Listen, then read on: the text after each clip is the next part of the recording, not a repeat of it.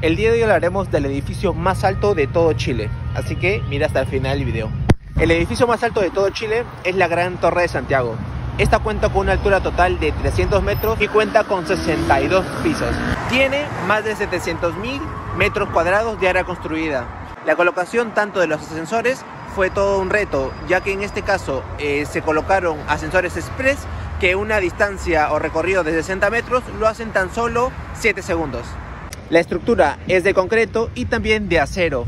Eh, en la construcción, más que todo, fue tanto la colocación de grúas internas y también las grúas externas, que aquí tengo una imagen para que puedan observar.